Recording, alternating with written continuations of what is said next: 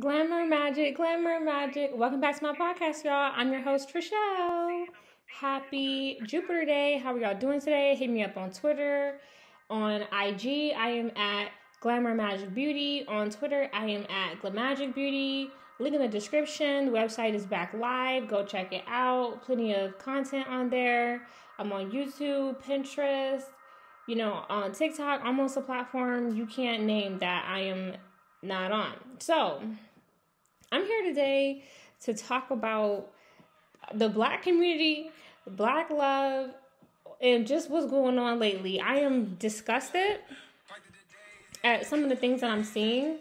I'm disgusted at some of the things I'm hearing, some of the conversations that are being had. And I'm just here to, you know, put my two cents in and kind of just give you my analysis on things from my perspective, right? So, of course, in the media, when it comes to black love and black relationships, I mean, there's a lot going on. There's, of course, the big thing is uh, Lori Harvey and Michael B. Jordan. Uh, what else is going on? Lil Baby supposedly is with some new girl, uh, which is irrelevant, but he's irrelevant, so is she. And then what else is happening? I mean, there's a couple things. Oh yeah, Diddy and Diddy and Caresha. I guess I'll touch on them. Everybody else, if you haven't got mentioned, be happy, right? I don't really care. I don't really care about these relationships with these rappers and these social media influencers because they don't be real relationships, and they just be so popcorn and bubblegum. It's just like child blah. And when it comes to um, Michael B. Jordan and Lori Harvey, let me get on that because while I'm talking about fake relationships, their relationship was very fake and very staged and you know whatever whatever. But um it is what it is. It happens all the time in hollywood. Um and it's it's just a part of the industry. My problem is that y'all believe it enough to be super emotionally and mentally invested in doing think pieces and coming up with stuff i am disgusted with y'all when i've gotten on YouTube and Twitter, the amount of people that are making up reasons why Michael B. Jordan and Lori Harvey broke up is ridiculous. I'm tired of hearing he wanted to marry her, but she didn't want to get married. I'm tired of hearing she was too young to get married. I'm too. T- I'm tired of hearing, oh, he didn't like to buy expensive gifts, and she liked a nigga that trick on her. I'm sick of hearing that. I'm sick of it all. Like, I'm exhausted um with y'all making up shit y'all coming up with other shit you know she didn't this and that's and that here's what's going on from my perspective because it's kind of obvious and i wish y'all had brain cells to rub together and make work for people who really like are invested and believe it and who are doing think pieces and of course you know all this other stuff y'all gotta wake up to the magic that's being done in y'all face this is what, been, this is what i'm talking about um, this is exactly what I'm talking about. I'm tired of y'all just being sleepwalkers. Let's talk about this, right? Yes, it was clearly a contract.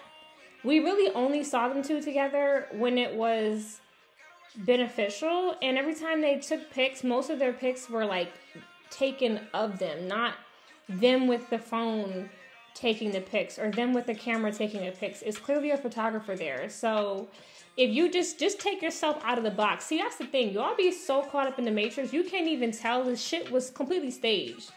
You know, makeup, outfits, pop, you know, pap strolls, pap pics, media headlines, you know, publicists making statements. Like it's very obvious that the whole thing was contract. What did it last? Over a year, you know, right when that contract, because that probably had like a anywhere between maybe 12 to 18 month PR contract, dead ass. Hollywood really be on that type of time. So that's what it was giving. Another thing is when it came to, or when it comes to Lori and uh, Michael, it was really obvious that it was all staged, planned, and set up. The way that they issued statements, they're both completely, first of all, them issuing a statement, they're both completely heartbroken they broke up. Then like then why? But they're completely heartbroken. Get the fuck out of here. That sound like some shit coming straight off the desk of a Hollywood publicist. Y'all kill me how y'all eat anything up. And that's why the people in the media, that's why they do what they do. That's why the publicists be like, bitch, let me type up something real quick before I go to lunch. That's why they be doing that. Because they know that they can push anything to y'all and y'all gonna eat it up. Y'all gonna just be so happy to just be talked to. Y'all give desperate and hard up a lot of times. It's for real. And I'm really not trying to drag the general population too bad, but it's like I'm gonna tug I'm gonna tug on y'all wig a little bit for being so fucking gullible to listen to every story that they put out. If they so heartbroken, then why were why they not together no more? Duh.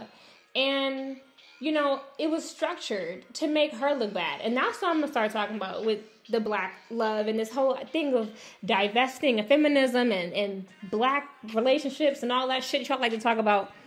I don't like the way Michael B. Jordan played that it was really obvious that Michael needed this for his career. Everybody knows it, he's been seen with a lot of non black women.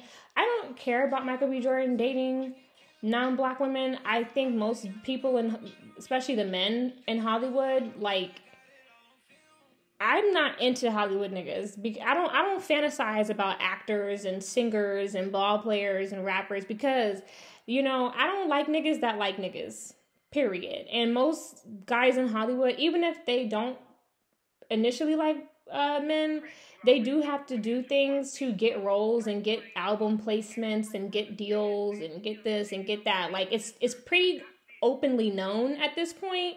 So if you're a woman that is into that type of man who's into um entertainment industry in any capacity, especially if he's going to be a celebrity, you should probably ask yourself like are you okay with men who like men? Are you do you like women? Like are you down with that? And um, are you down with it? Are you okay with it? Because if you have any hesitation you probably don't want to go down that road. But with a guy like michael b. Jordan i don't really give a fuck. But clearly a lot of women a lot of black women do. And that's why his team felt the need to put him with the black woman you know, I, I also have heard that this has something to do with uh, Black Panther. You know, them wanting to make sure that Black Panther does well, so he needs to be with a black woman and all this other bullshit. And I feel like, um, I feel like that's whack. You know, there also has been some gay rumors about him. I don't care. I wouldn't be surprised. Again, he's a, a man in Hollywood. I don't I don't give a fuck about all that. I wish black women didn't care so much. And this is and this is what I'm gonna say. Now that I'm now that I'm thinking about it, now that I'm on it. Black women, why do so many of us care so much about who black men date because when when you care that much you set the community up for situations like this a bunch of contractual relationships and then when they don't work out, you know, you're extra disappointed. And I already, of course, the moment I saw the headline, I was like, okay, so next week he'll be with some non black girl. And because that's probably what he really likes, or he just likes men. Either way, who cares? And not every, not, you know, not every single black famous man is gay or DL or whatever. But we, again, we do know what, what goes on in the industry. People's can really be into that. They really might just be doing it for work. I don't know. I don't care. But that's what I mean. I don't know why we're so invested. I think people being invested into celebrity culture is a bit much. It's becoming a bit much, and especially in the black community, to where people are staging whole relationships because we care and you know it's because it's still an L to black women because it's like you care. The L is that you care. You shouldn't care about Michael B. Jordan because do you want fake love? Do you want fake validation and fake support? I don't. And as far as Lori Harvey is concerned, the whole idea of her being too young to to get married is bullshit. And that's what I mean. You know, when some black women say that they want to divest or that they have divested from black men, I completely understand why. Because you have to understand it's very strategic for Michael to set it up as if, oh, it's the black woman's fault. That's how I know that this is all Hollywood. And I'm gonna take it back to the magic.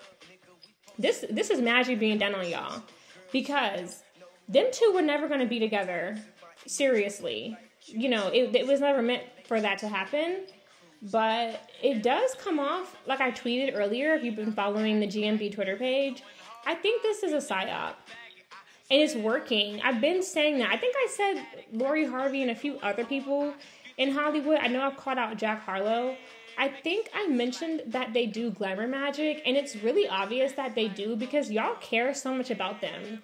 Like their their level of fame compared to how much y'all care is uncorrelated, and that's how I know that they're doing glamour magic. As far as in fame spells and all this other shit. But with Lori and Michael, I think that their relationship or their PR relationship, whatever the fuck you want to call it, I think it was set up to do what it's doing, which is cause conversation and kick up, uh, you know, a division within the black community. Lori Harvey was not too young to get married. Couples will be like 23 and get married all the time. Couples will have a 13 year, 15 year, 11 year, 8 year, whatever, whatever age gap and get married and live happily ever ever, live happily ever after all the time. It happens all the time. A 10 year age gap is not that big of a deal. It's really not, especially because she's 20 fucking 5 and he's 35. She is not too young and their age gap is not too big. The black people who are really saying that as an excuse, a lot of black women are trying to like say that as a rebuttal. Well, she, of course she didn't want to get married. She was too young. Y'all sound stupid. Y'all sound dumb as fuck. If you think 25 is too young to be married, you sound stupid. 23, maybe. 25, your frontal lobe is developed. You're halfway through your 20s. Settle the fuck down. There are rich white kids getting married at young ages all the time. And some of y'all are mad because you don't want to hear me compare black people to white people. The reason why I'm going to in this instance is because anybody with a half a brain knows and understands that marriage and the ownership of property are two of the greatest ways to grow wealth.